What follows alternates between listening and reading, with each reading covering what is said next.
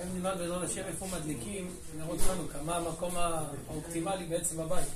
השולחן ערוך פוסק נר חנוכה מניחו על פתח הסמוך לרשות הרבים מבחוץ, משום פרסום מניסה. ככה כותב בשולחן ערוך, ככה כותב במשנה ברורה. החזון איש אומר שהוא דיבר על החצרות, החצרות שלנו, שלא עושים בהן כל כך שימושים פרטיים. יש חצרות עזובות, לא עושים איתן כלום.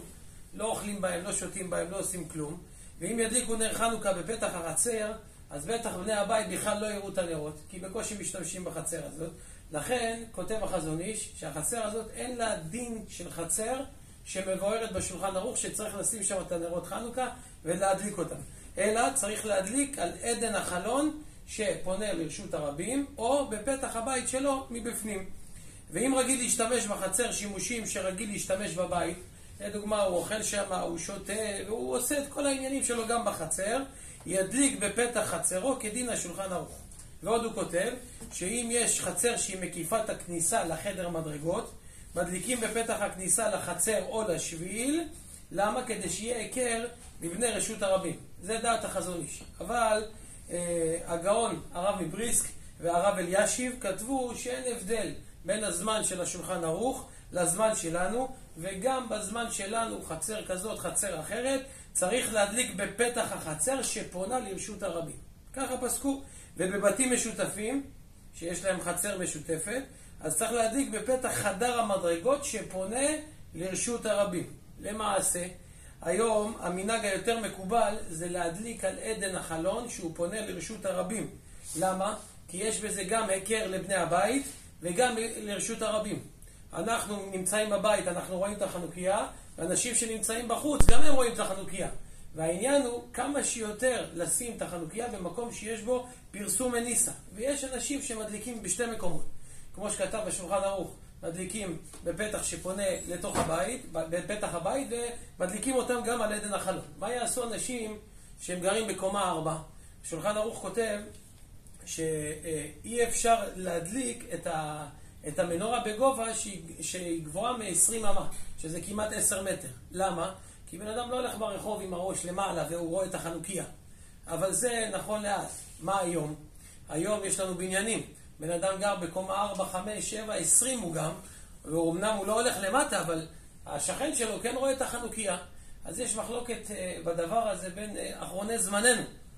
הרב עובדיה יתיר אמר כל העניין של נרות חנוכה, זה על מנת שיהיה פרסום מניסה.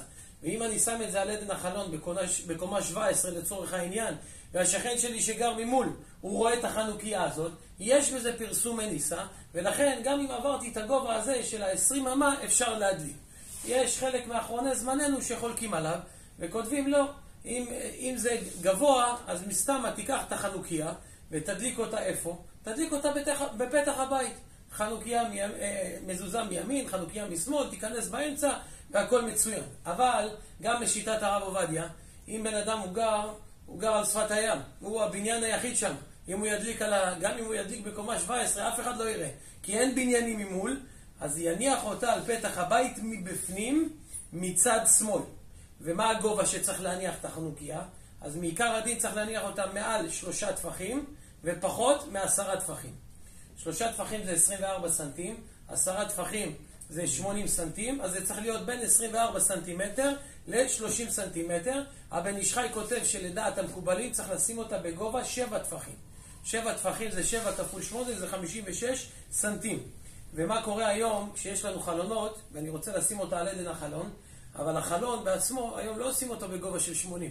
הוא מעל גובה של מטר, הרב עובדיה כותב, אה, אה, אה, כותב במשנה ברורה, שאפשר להדליק את זה על עדן, כותב שאפשר להדליק את זה על עדן החלון, שהוא יותר גבוה מעשרה טפחים. למה? כי העיקר שיהיה היכר לרשות הרבים.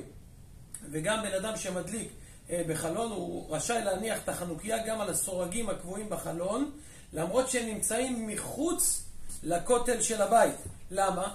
יש בזה היכר שמי ניח את החנוכיה, ויש בזה היכר גם לבני הבית וגם לאנשים שנמצאים בבחוץ. זאת אומרת שמה שאמור להנחות אותנו באופן עקרוני, כשאנחנו מניחים את החנוכיה, כמה שיותר לפרסם את הנס, כמה שיותר שיהיה פרסום מניסה. חזק וברוך.